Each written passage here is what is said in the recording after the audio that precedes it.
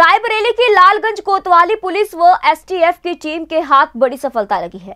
Police ने अवैध शराब के जखीरे के साथ एक अभियुक्त को धर दबोचा। जानकारी के मुताबिक लालगंज पुलिस व एसटीएफ की टीम ने प्रतिबंधित शराब की 1100 पेटी के साथ एक कंटेनर व उसके चालक को हिरासत में लिया है। पकड़ी गई शराब की कीमत लगभग 75 लाख रुपए बताई जा रही है। बताया जा रहा है कि पकड़ा गया कंटेनर ड्राइवर जसविंदर सिंह मोहाली, पंजाब का रहने वाला है।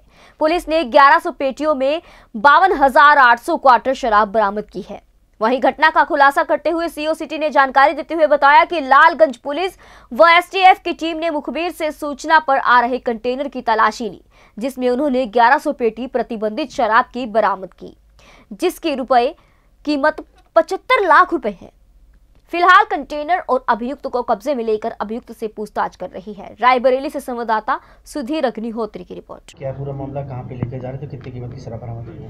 ये लालगंज थाना में 1100 पेटी एक कंटेनर में जसविंदर सिंह उर्फ़ बक्का सिंह गाड़ी चला रहे थे। तो पुलिस लालगंज की पुलिस और एसटीएफ को सूचना मिली थी कि कोई व्यक्ति कुछ सामान लेके जा रहा है। तो उस मुखबिरी पे एसटीएफ और लालगंज की पुलिस ने तलाशी ली और ट्रक को रोकवाया। उसके अंतर्गत 1100 पेटी प्रतिबंधित शराब मिली, जो लगभग पचहत्तर लाख रुपए की है।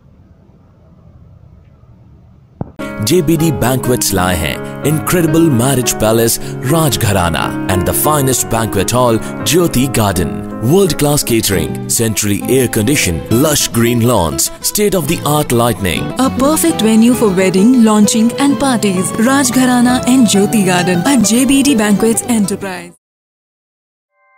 ऐसे ही लेटेस्ट खबरें पाने के लिए बेल आइकन को क्लिक कर हमारे चैनल को लाइक शेयर एंड सब्सक्राइब करें धन्यवाद